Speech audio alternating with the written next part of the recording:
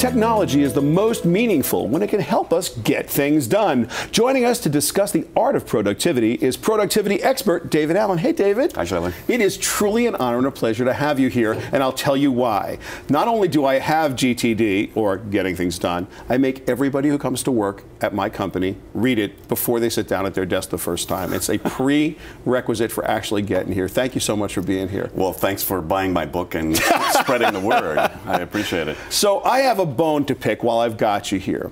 It seems to me that your book has been softwareized by people who don't realize that your method is incredibly simple with a pen and a paper, but when you start adding layers of computerness to it, you actually spend as much time doing the computery part as you do getting things done. So I don't blame you, but I blame you. Yes. Well, productivity porn, come on. You know, there, there, are worse ways to, to waste your time. You know, you might as well explore software and, you know, feature creep. I guess. you're dead, you know. I guess. Tell everybody what the basis of GTD is. Get it out of your head. Decide sooner than later what outcomes you're committed to, what the action step is you need to take organize that in some coherent way so that you can step back and look at the whole thing on a regular basis, keep it current, and then feel good about your choices about what you do. Now, there's a whole part of the book that talks about the psychology of getting your to do list out of your head and into something you can trust. Is that the essence, or is there? That's a big part of it. You know, a lot of the paradigm shift is truly to stop using your psyche as your system because it's not designed for that. It's designed for having ideas, but not for holding them. It's also not designed to, to hold all of the potentially meaningful things and to be able to man, manage context. So you've got to get it out of your head. I mean, everybody, you know, watching, listening to this, at some points felt overwhelmed and confused and sat down and made a list and felt at least a little bit better. Right. And nothing changed except how they were engaged with their world. Well, if you reverse engineered that, figured out why that happened, you'd never keep anything in your head the rest of your life. So I don't. okay. I get it. Um, what's the I am obviously an idea person, and I've uh, the only defense I have in the whole world is actually adopting a productivity system, and yours seems to be the best.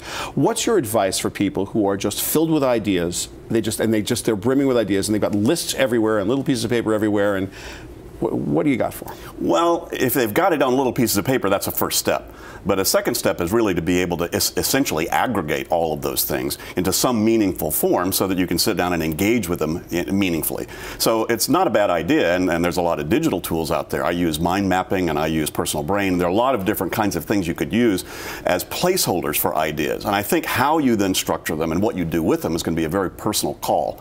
Uh, but that's you know using your tools to sit down and say, okay, what really do I want to focus on? How do I want to be creative right now? You need to focus, and then it'll help you. It'll, it'll help you. So you know, there are plenty of digital tools, uh, Daylite, OmniFocus, all the stuff from 37 Signals. There are plenty of great digital tools. But sometimes when you're done putting all the stuff into your digital tools, you feel like you've done a lot of work. And yet all you've really done is got everything in a place where now you have to go find it.